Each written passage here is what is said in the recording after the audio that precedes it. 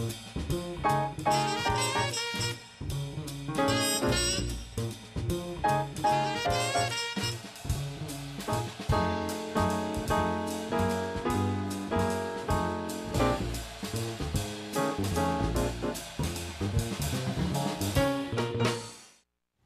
I'm Robert Osborne.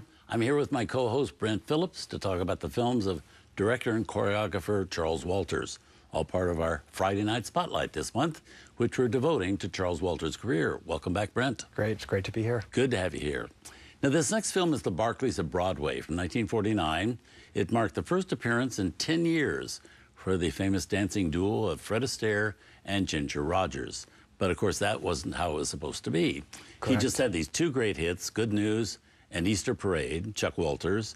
And this was also supposed to be a reunion, right? Of Judy Garland, Fred Astaire, Robert Alton was going to do the choreography, and Chuck was going to direct it. Absolutely. But what happened? Basically, at this point, Judy was going through some more personal problems, and they just felt it was best to take her off of this picture. And Arthur Freed um, had the brilliant idea of after 10 years of Fred and Ginger not being on screen, Right. let's see if we can get Ginger Rogers to come in and, and do this film.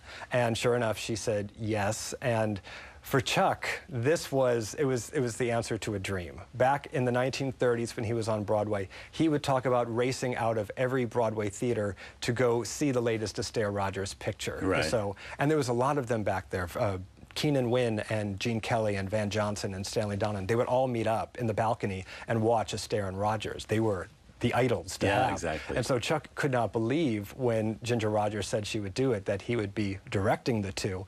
And he remembered the day that Ginger Rogers came on the set. Fred was rehearsing the Shoes with Wings on number on stage, and she walked down the aisle, went up on the stage, and they hugged.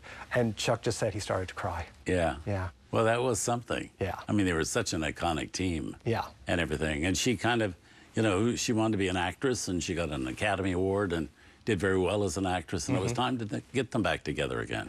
And, And- to have them in Technicolor for the first time. For the first time, Yeah. exactly. And actually, the Barkleys script, basically, it's about uh, this great dance couple, and the actress wants, Yes. the, the, the, the wife That's what's so amazing. Yeah, she wants it was to go for and Judy do- Garland. Right. But it's actually Ginger Rogers' story. It is. She Yeah. wanted to become a dramatic actress, not a musical comedy star. And there it is, right there in the Comden and Green script. It's really pretty remarkable that it was written for Judy. Yes. Now, one of the interesting things I think is that that had to be tough on her after 10 years of really not dancing or not keeping your body in shape uh, at the bar Yes. and all that. Not the bar at the plaza, but the, the, the ballet bar. Yes. That she could step in and do these numbers Yes. because, you know, you have to train like an athlete for that sort of thing. Absolutely, and, and actually they were able to rework the production schedule so that all of the dances that were being done by Bob Alton and Hermes Pan could be shot at the end of the production. So hmm. therefore she would have more time to get back in shape as a dancer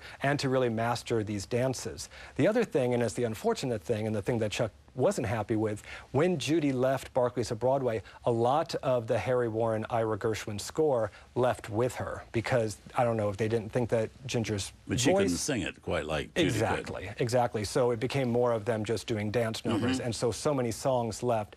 And Chuck really felt like without a great score, this film may be a little bit more mediocre. Mm-hmm. And so he was not happy with that. But uh, she worked like the Dickens to Mm-hmm. become, to get herself back into shape. Yeah. Yeah. Anyway, let's have a look. Fun film. Here from MGM in 1949, also featuring Oscar Levant and Billie Burke. Here's the Barkleys of Broadway.